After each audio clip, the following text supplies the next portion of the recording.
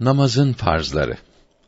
Farz Allahü Teala'nın yapılmasını istediği kesin emridir. Bir ibadetin farzları yerine getirilmedikçe o ibadet sahih, doğru olmaz. Namaz kılarken 12 şartı yerine getirmek farzdır. Bu farzların yedisi namazın dışında, beşi de içindedir. Dışındaki farzlara şartlar denir. İçindekilere de rükünler denir. Bazı alimler tahrime tekbirinin namazın içinde olduğunu söylemişlerdir. Bunlara göre namazın şartları da rükünleri de altı olmaktadır. A. Namazın dışındaki farzlar, şartları. 1. Hadesten taharet.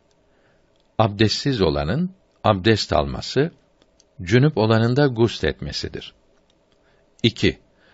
Necasetten taharet.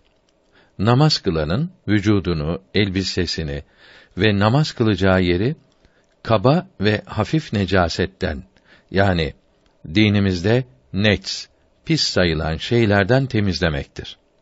Mesela kan, idrar, alkol gibi maddeler dinimizde pis sayılmaktadır. 3.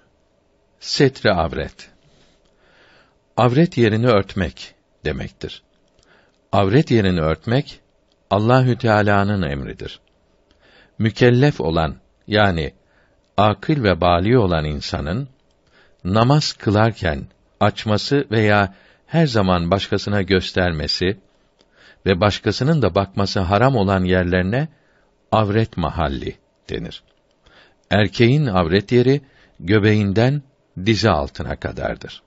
Kadınlarınsa yüz ve ellerinden başka her yeri avrettir.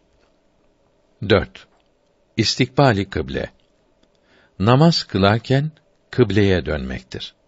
Müslümanların kıblesi Mekke-i Mükerreme şehrinde bulunan Kâbe'nin arsasıdır. Yani yerden arşa kadar o boşluk kıbledir. 5. Vakt. Namazı vaktinde kılmaktır. Yani namazın vaktinin girdiğini bilmek ve kıldığı namazın vaktini kalbinden geçirmektir. 6.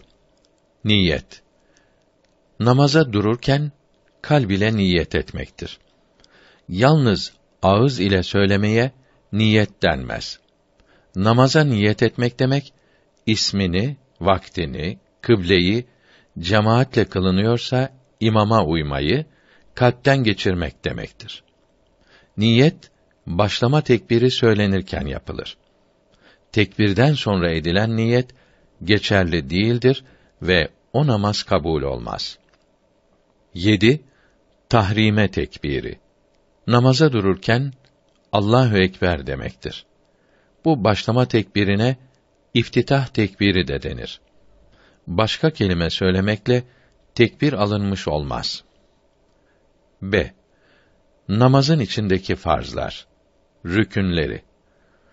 Namaza durunca yerine getirilecek beş farz vardır.